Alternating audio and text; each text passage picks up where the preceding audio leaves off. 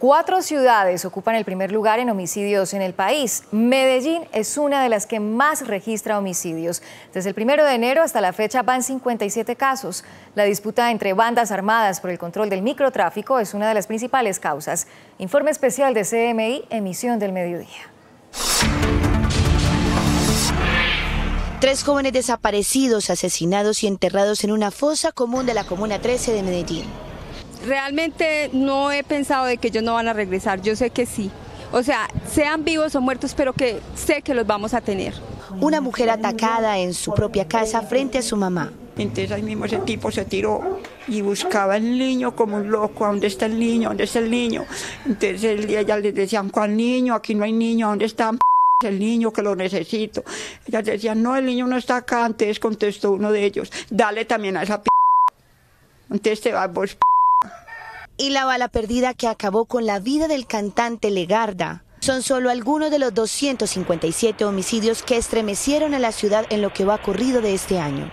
Víctimas inocentes del conflicto armado entre bandas, pero también delincuentes que se matan entre sí por disputas territoriales. Autoridades extreman operativos. Logramos igualmente la incautación de cinco armas de fuego que suman a las más de 40 armas que llevamos en el presente año, más de 500 capturas. Y pues es una actividad que estamos desarrollando contra esas estructuras criminales. Hay un tema estructural con la Fiscalía General de la Nación para lograr desarticular y bajar el, poder bélico que están presentando estos eh, delincuentes que siguen eh, cometiendo homicidios. Las cifras siguen en aumento. Las más recientes víctimas son José Ángel Muñoz, de 52 años, un mecánico asesinado por fleteros, Alex Ramírez, de 34 años, abaleado en la Comuna 13 de Medellín, y Miller Sánchez, cuyo cuerpo fue dejado al interior de una nevera en una calle del municipio de Bello.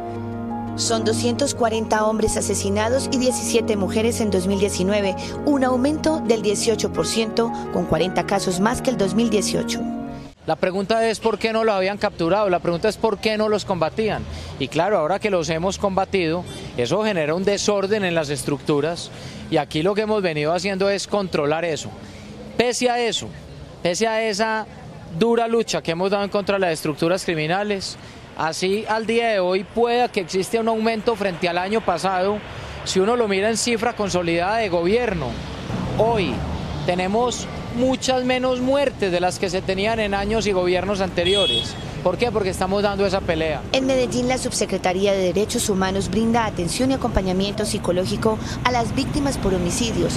También hacen labores con la Fiscalía para esclarecerlos.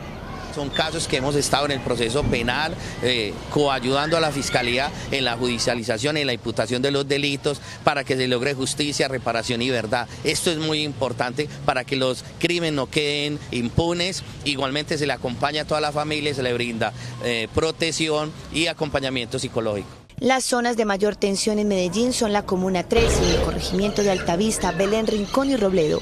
También el conflicto que se traslada desde el municipio de Bello.